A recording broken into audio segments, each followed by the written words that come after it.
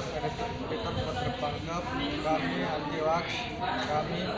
Pancasila kami Indonesia kami mendukung Pilkada Pilkada dan 2018